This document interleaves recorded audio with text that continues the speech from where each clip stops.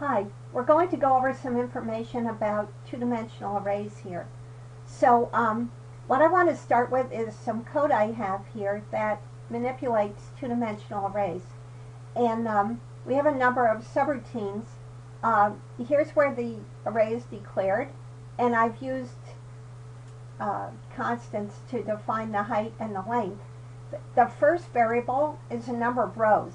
So that's the height, and here it's 3 and the length is the number of columns. That so I'm calling it length, um, and that's four. So you know the number of rows is the first uh, subscript, and the number of uh, columns is the second one. And it works the same as the cells notation in that respect that we use when we're working with a range in Excel. Okay, now the first little subroutine I have here just prints the array. It uses a um, nested loop. So the outer loop is on J and the inner loop is on K. And because the add item uh, routine creates a new row every time, what we have to do to print our array in, in you know, row by row is to build up a row, print it, build up another row and print it. And that's what we're doing here. So um, for each row, we start with the empty string and then we go through each column in that row.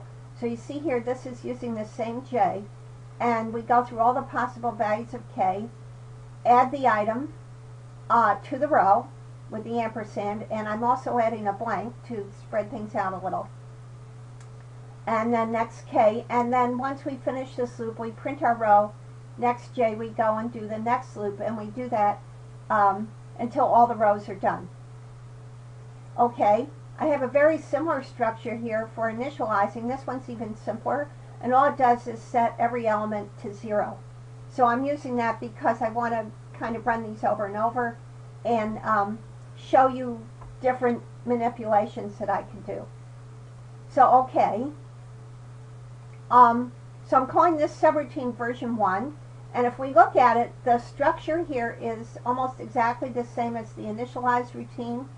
But instead of setting the um, elements to zero, I'm setting them to one.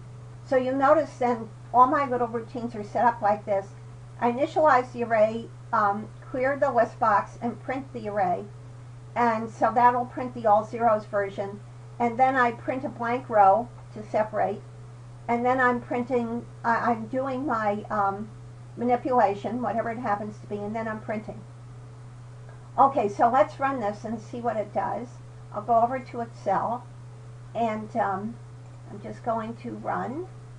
Okay, and here you see the original version and the version with all ones. All right. Now, um,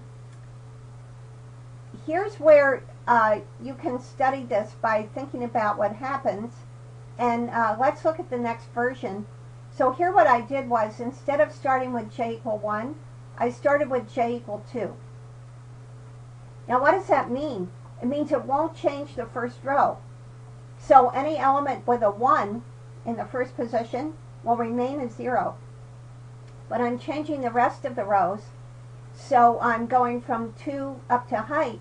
And now what am I doing with k? Well, I'm only doing from 1 to 2. I'm not doing from 1 to length. So that means only the first two columns will be affected. Now here's where you have a chance to play with things. You have to keep in mind that the maximum value for height is 3, for a row is 3, and the maximum value for a column is 4. But within those limits, you can play around with these and see if you can predict what happens and what the value of each element will be. So let's give it a try here. I'm going to go over, run my macro, and try version 2. And here you can see, see the first row was unchanged, and in the columns I only changed the first two columns. Okay, now here's a kind of um, exercise you can do. Suppose I come back here and I say, um, instead of doing it this way, I'm going to go from 1 to 2, or let's make it 1 to 3, on, on the rows. Um, Oh, that's all the rows. Make it 1 to 2. So, see if you can predict. Write down what this will look like before you actually look at the answer. So you can pause, write down what you think will happen, and then check. So let's go check. I'm going to run this.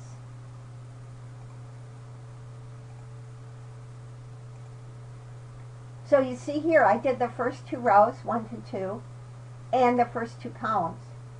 Now, um, what if I wanted to do the first two rows, all the columns? Well, okay, first two rows, I'll have J equal 1 to 2.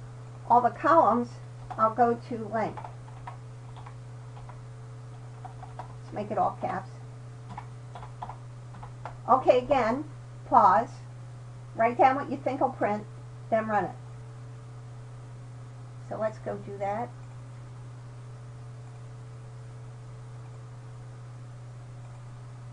Okay, and you see the first two rows, nothing in the third row.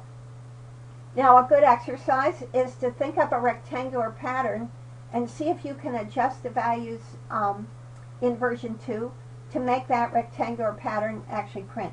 And um, you, of course you can change height and length make them bigger if you want to have more flexibility to play with stuff. So this is a good way to study this you know, and then see if you can predict what a specific element will be, whether it's 0 or 1, before you do this. Okay, let's take a look at version 3. Now you notice this one does not have a nested loop, although it still works on the two-dimensional array. What it's doing is it's doing um, element JJ. Now I have to be careful here. There's more columns than rows, so I have to be careful and think about the relative values of those uh, so I don't get any um, runtime error by trying to index an element that doesn't exist. Now, if you wanted to make rows and columns equal, you wouldn't have to worry about that.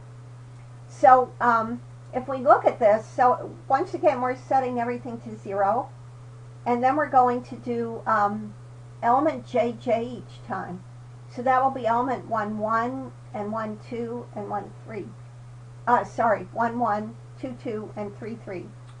So um, see if you can write down what I'll print, and let's go try it.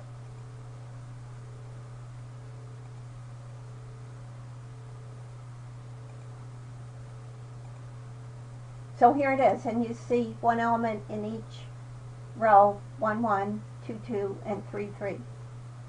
Okay, now I can play around with this as well, of course. So one thing I could do would be to make this be a plus 1. Alright, see if you can predict what will happen. And I'm going to run it.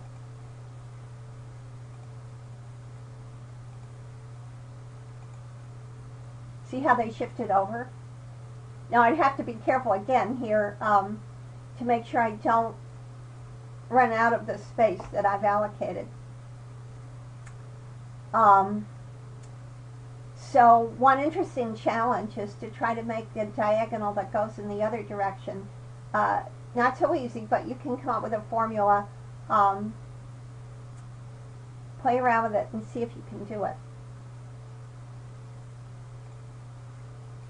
Okay, so the idea here is to um, play with this code until you thoroughly understand it and a good way to test yourself, again, is to make some minor changes in the code and then see if you can predict what the answer will be when it runs. And this will help prepare you for this kind of question on the exam.